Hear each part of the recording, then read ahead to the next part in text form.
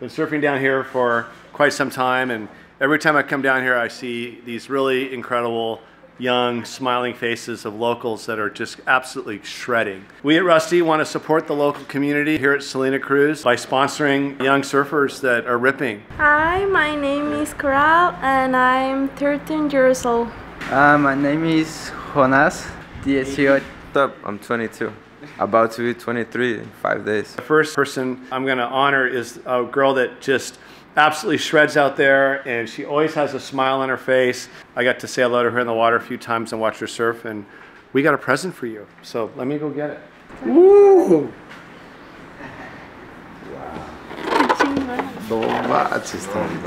It's got a rounded pin obviously. It's this is for barrels. This is designed for shredding.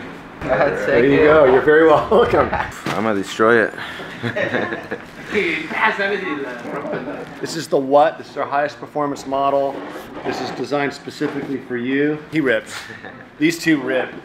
And uh, represent the brand. so much, man. Here's the track pad. Here's some fins that are worth about the half as much as the board. Here's the track pad. And Rusty logos raining from the sky. Sick.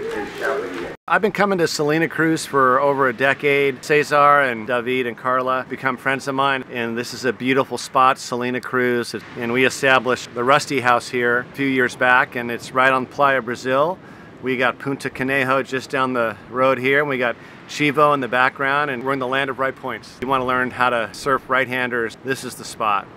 You know, it's a very simple agricultural and agrarian community in Playa Brazil. A lot of fishermen, a lot of farmers and herders. You got Salina Cruz, which is kind of an industrial city, but but the people here are simpatico. They're super nice. They're great hosts. The food's amazing. It's Oaxaca, which is kind of a cultural hotspot for Mexico. So you mix Oaxaca with Salina Cruz, with the fishermen and the waves, and you get the recipe for a really good time. Well, there's a lot of really good Mexican surfers down here that have grown up with their fathers as surf guides. I noticed that a lot of these kids that were ripping had really bad boards. So we started an initiative at Rusty to support the Salina Cruz Groms and the kids. We actually put several of the Salina Cruz kids on the Rusty team and we got like a farm club of youngsters coming up on Rusty's. Nikki is an insane surfer, Nikki Ramirez and Jonas. They're both just really good regular foots. They've groomed their style here on the points. And then we also have Coral. Coral is the daughter of a guide here and she rips on right points as well. My vision here is to see a sea of Rusties on the points of Salina Cruz.